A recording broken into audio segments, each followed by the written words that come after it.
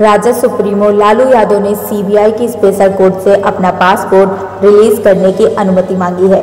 इसके लिए उनके अधिवक्ता अनंत कुमार बीज के माध्यम से एक याचिका भी दाखिल की गई है।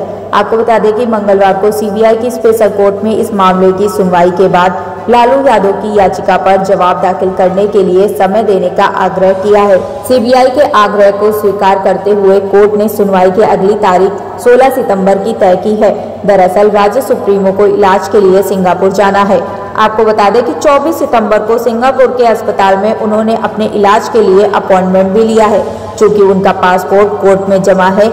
इसलिए उनकी तरफ़ से पासपोर्ट रिलीज़ करने के लिए एक याचिका भी दाखिल की गई है।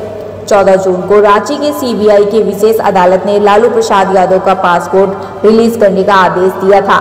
राज्य सुप्रीमो का पासपोर्ट सीबीआई कोर्ट के स्पेशल जज दिनेश राय की कोर्ट में जमा है। सीबीआई कोर्ट में पासपोर्ट जमा होने की वजह से लालू यादव के देश से बाहर जाने पर भी रोक लगी हुई थी। आपको बता दें कि लालू प्रसाद यादव की ओर से पासपोर्ट की अवधि समाप्त होने का हवाला देते हुए नवीनीकरण के लिए पासपोर्ट रिलीज़ करने की मांग की गई थी। लालू प्रसाद की ओर से दाखिल याचिका पर कोर्ट ने पासपोर्ट रिलीज़ करने का आदेश दिया था। Bureau report, IPN.